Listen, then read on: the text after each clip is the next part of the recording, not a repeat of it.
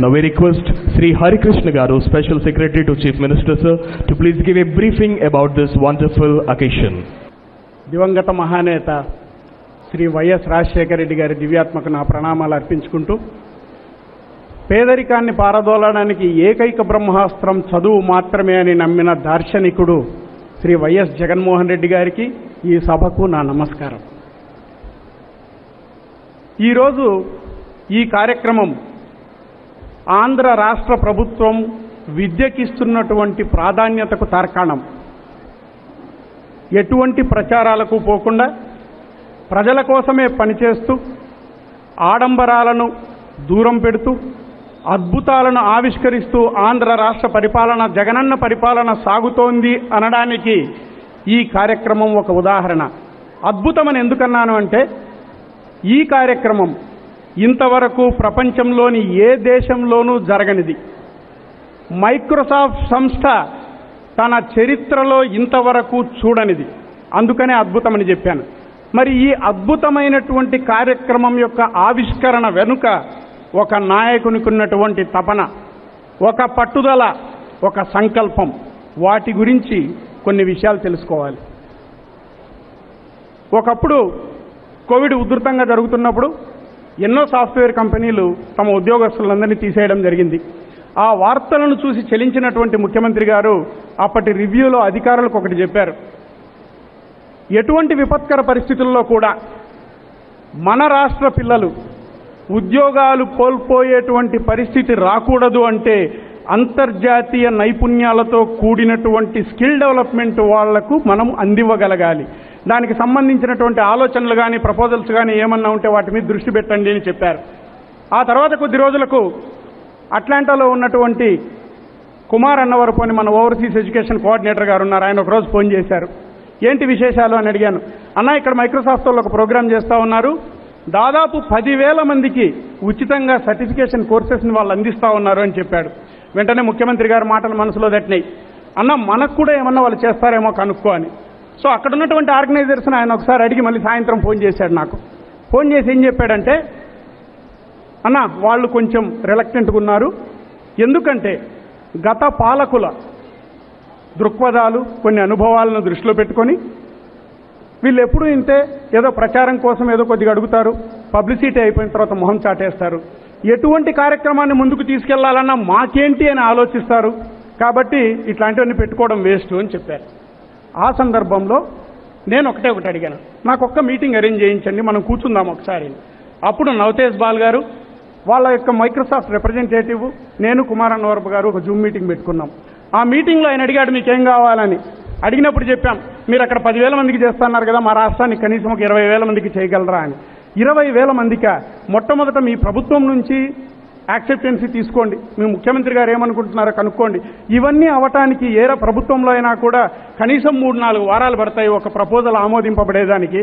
First మీరు అవన్నీ కనుక్కోండి. ఒక నెల తర్వాత మీరు సరే అంటే అప్పుడు మీటింగ్కి వెళ్దామని ఆయన చెప్పారు.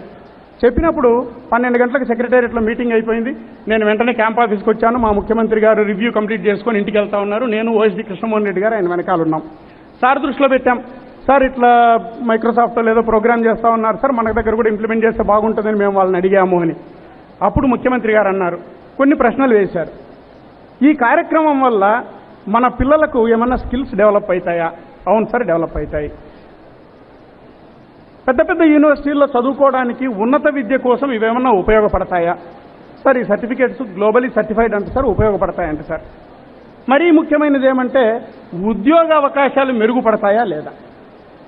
సార్ పడతాయి అంటున్నారు. అంటున్నారు కాదు కన్ఫర్మ్ చేసుకో. ఉద్యోగ అవకాశాలు మెరుగుపడతాయి ప్రజలకు పిల్లలకు ఉపయోగపడుతుంది అంటే గో అహెడ్ ఒకే ఒక్క మాట. కానీ కానీ ఆ ముందుకెళ్ళేప్పుడు ఒక విషయం చెప్పు. ఎంతమందికి చేస్తామన్నారు వాళ్ళు మేము గర్వంగా చెప్పినాం. సార్ అక్కడ అమెరికాలో పదివేల మందికి మనకు ఇరవై వేల మందికి చేస్తారంట సార్ అని. ఇరవై వేల. ఏ మూలకు సరిపోతారు? ఇన్ని లక్షల మంది విద్యార్థులు ఉన్నారు. ఇరవై వేల మంది అంటే ఏ ఇంజనీరింగ్ వాళ్ళు సిటీల్లో ఉన్న వాళ్ళు దీని మీద అవగాహన ఉన్న వాళ్ళు ఇన్ఫ్లుయెన్స్ ఉన్న వాళ్ళు డబ్బున్న వాళ్ళు చదువుకున్న తల్లిదండ్రులు ఉన్నటువంటి వాళ్ళు వీటిని ఎగేసుకొని పోతారు. మరి పేద విద్యార్థుల పరిస్థితి ఏమిటి? రాష్ట్రంలో ఉన్నటువంటి మిగతా వాళ్ళందరికీ ఏం చేయాలి? మన ప్రభుత్వ విధానం అది కాదు. మన రాష్ట్రంలో అర్హత ఉన్నవాడు ఆసక్తి ఉన్నవాడు ఏ విద్యార్థికైనా సరే మనం అవకాశం ఇచ్చి తీరాల్సిందే అని చెప్పి మన ముఖ్యమంత్రి గారు చెప్పారు. చెప్పిన వెంటనే వాటన్నిటిని దృష్టిలో పెట్టుకొని చెప్పాం సార్ ఇవన్నీ చేయాలంటే మరి కొన్ని లక్షల మంది అవుతారు సార్ కొన్ని వేలు దాటిపోతాయి ఎక్కువ మంది అవుతారు ఎలా సార్ అని. చెప్పండి మైక్రోసాఫ్ట్ వాళ్ళకి. వాళ్ళకి ఏం కావాలో అవన్నీ ఇస్తాం మనం. మనం చేసి తీరాలా. ఎన్ని వేల మంది అయినా పర్లేదని ముఖ్యమంత్రి గారు చెప్పడం జరిగింది.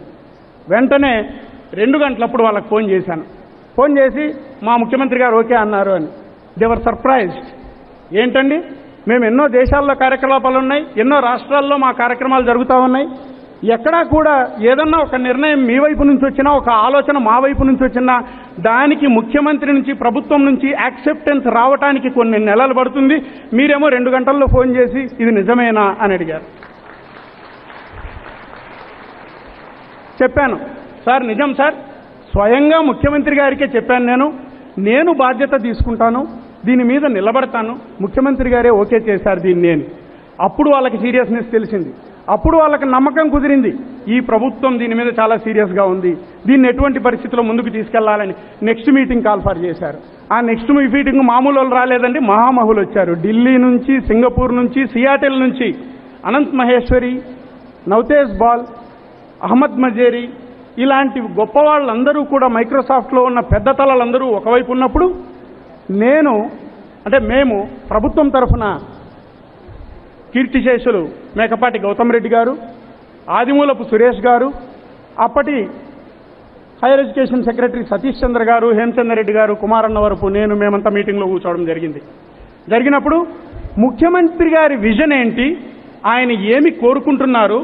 విద్యకు ఆయన ఇస్తున్నటువంటి ప్రాధాన్యత ఏంటి? ఆంధ్రప్రదేశ్లో మన ప్రభుత్వం వచ్చిన తరువాత జరుగుతున్నటువంటి విప్లవాత్మకమైనటువంటి సంస్కరణలు ఏంటి అనేటివన్నీ కూడా వాళ్ళ దృష్టిలో పెట్టడం జరిగింది.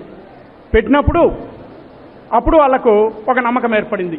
This is the right platform మనం ఒక వినూత్నమైన కార్యక్రమాన్ని ఒక అద్భుతమైన కార్యక్రమాన్ని గతంలో ఎప్పుడూ జరగనటువంటి కార్యక్రమాన్ని ఇంప్లిమెంట్ చేయాలంటే only Andhra Pradesh is the right platform అనేటువంటి ఒక నిర్ణయానికి వాళ్ళు రావడం జరిగింది. ఆ నిర్ణయానికి వచ్చిన తర్వాత మీ ముఖ్యమంత్రి గారు ఏం చెప్పారు? ఆసక్తి ఉన్న వాళ్ళందరినీ అన్నారు కాబట్టి మొత్తం అన్ని కోర్సులు నాణ్యమైనవన్నీ చూస్తే నలభై కోర్సులను సెలెక్ట్ చేశారు. దాదాపు లక్ష యాభై వేల మంది స్టు- విద్యార్థులను ఇదవటానికి ముందుకొచ్చారు.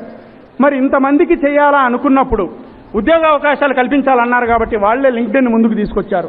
ఇక్కడ ఎవరైతే సర్టిఫై అవుతారో వాళ్ళ విద్యార్హతను బట్టి ఈ సర్టిఫికేట్ను బట్టి ప్రపంచంలోనే అతిపెద్దటువంటి ఉద్యోగాల కల్పన ప్లాట్ఫామ్ అయినటువంటి లింక్డెన్లో పెడితే వాళ్ళకి అవకాశాలు పెరుగుతాయని చెప్పి వాళ్ళు లింక్డెన్ కూడా ముందుకు తీసుకొచ్చారు. అంతేకాకుండా ఇంత గొప్ప కార్యక్రమం వాళ్ళకు కూడా ఇది వరమే. కేవలం విద్యార్థులకు ముఖ్యమంత్రి గారు ఇస్తున్న వరం కాదు మైక్రోసాఫ్ట్ కూడా ఇస్తున్నటువంటి ఒక గొప్ప అవకాశం. ప్రపంచంలో ఏ నాయకుడు ఇచ్చాడండి? లక్ష అరవై వేల మంది విద్యార్థులను ఒక అకాడమిక్ ఇయర్లో ఒక సంస్థకి ట్రైన్ చేసి మేము గొప్పగా చెప్పుకోగలమని ఇదే మైక్రోసాఫ్ట్ సంస్థ. రేపు పొద్దున ప్రపంచానికి చూపించుకోవచ్చు. మేము ఒక ఆంధ్ర రాష్ట్రంలో లక్ష అరవై వేల మందిని సక్సెస్ఫుల్గా ట్రైన్ చేయగలిగామని ఒక రోల్ మోడల్గా చూపించుకునేటువంటి అవకాశాన్ని ముఖ్యమంత్రి గారు ఇచ్చారు. కాబట్టి ఇది దాదాపు నాలుగు వందల కోట్ల ప్రాజెక్ట్ అయినప్పటికీ దాన్ని వాళ్ళు కొంచెం సబ్సిడీస్తో తగ్గించుకుని మీకు కేవలం ముప్పై కోట్లకే ఇస్తాము. అంతేకాకుండా మీ దీన్ని ఎంకరేజ్ చేయడం కోసం మీ విద్యార్థులకు వంద డాలర్ల గిఫ్ట్ ఓచర్ ఒక్కొక్కరు రిజిస్టర్ అయిన వాళ్ళందరికీ ఇస్తాము అని చెప్పడం జరిగింది. అది జరిగిన వెంటనే ఆ ముప్పై కోట్లు నేను హేమచంద్ర రెడ్డి గారు సీఎం గారి దగ్గర పోయినాం. సార్ ఇట్లా దాదాపు థర్టీ క్రోర్స్ అంటున్నారు సార్ లక్ష చిల్లర. ఒక విద్యార్థికి మనం ఒక పదహైదు వందలు వసూలు చేద్దాం. ఏమంటున్నారు మీరు? విద్యార్థుల దగ్గర నుంచి వసూలు చేస్తారా? ఆ వెయ్యి రూపాయలు పదిహేను వందలు కట్టలేని కూలీ వాళ్ళ కొడుకులకి ఏం చేస్తారు మీరు? అయ్యో ఇది కట్టాల్సి వస్తుంది అని వెనకంజ వేస్తే ఏం చేస్తారు? ఏం న్యాయం చేస్తున్నాం? ఆసక్తి ఉన్న వాళ్ళు అర్హత ఉన్న వాళ్ళకి ఎవరికైనా సరే మనం ఉచితంగా విద్యను అందించి తీరాలి అని చెప్పి ఆ రోజు ముఖ్యమంత్రి గారు చెప్పడంతో ఆ మొత్తాన్ని కూడా ప్రభుత్వమే భరించదని క్యాబినెట్లో పెట్టించి ఆమోదింపజేసి అడుగడుగునా తనే వెన్నంటి ఉండి దీన్ని ముందుకు తీసుకెళ్ళి ఈ కార్యక్రమాన్ని విజయవంతం చేయడం జరిగింది. ఏ ముఖ్యమంత్రి గారికి వచ్చిందండి ఈ ఆలోచన? దేశం ప్రపంచంలో ఏ నాయకుడికైనా కనీసం ఈ ప్రతిపాదన మైక్రోసాఫ్ట్ ముందు చేశారా? అందుకే ఇది అద్భుతమైన కార్యక్రమం అని నేను చెప్తా ఉన్నాను. ఆ తరువాత ముఖ్యమంత్రి గారి సూచనల మేరకు రాష్ట్రంలో ఉన్నటువంటి నలుమూలల అన్ని యూనివర్సిటీల్లో గ్రామీణ విద్యార్థులు ఇంజనీరింగ్ నాన్ ఇంజనీరింగ్ అందరూ కూడా బెనిఫిట్ అయ్యే విధంగా రూపకల్పన చేసి లక్ష అరవై రెండు వేల మంది విద్యార్థులను తీసుకొని వచ్చి ఈ రోజు కేవలం కొద్ది నెలల్లోనే నలభై వేల మంది సర్టిఫై అయిపోయి మన ముందు నిల్చొని ఉన్నారు. నలభై వేల మంది సర్టిఫై అవటం కూడా ఎన్ టు ఎండ్ సర్టిఫికేషన్ తర్వాత నలభై మందికి సర్టిఫికేట్లు రావడం ప్రపంచ చరిత్రలో ఇదే మొట్టమొదటిసారి. Microsoft is very happy with that అంటే ఈ అద్భుతం మనము సాధించగలిగామంటే ఈ కార్యక్రమంతో ఒక ఒక నమ్మకం నిజమైంది. ఒక తపన నిజమవుతోంది. ఒక సంకల్పం నెరవేరుతోంది. ఆ ఆ నమ్మకం ఏమంటే మైక్రోసాఫ్ట్ సంస్థ జగన్మోహన్ రెడ్డి గారి మీద పెట్టుకున్న నమ్మకం. ఈ కార్యక్రమం చర్చల్లో ఉన్నప్పుడు దాదాపు ఏడెనిమిది రాష్ట్రాలు ముందుకొచ్చాయి. గుజరాత్ ఉత్తరప్రదేశ్ మధ్యప్రదేశ్ తమిళనాడు తెలంగాణ కర్ణాటక వీళ్ళందరూ ముందుకొచ్చారు.